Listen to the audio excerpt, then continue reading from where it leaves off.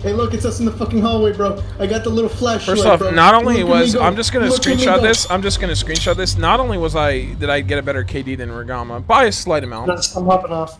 All right, have a go, man. No, I don't go But for it. but Yes. I did better than him, and he was calling me useless. I'm just gonna F12, F12, F12, F12, F12, F12, 11, 12 screenshot save. Just just I I made copies just in case Regama tries to disintegrate the first one. So there you go. China number one. Disintegrate.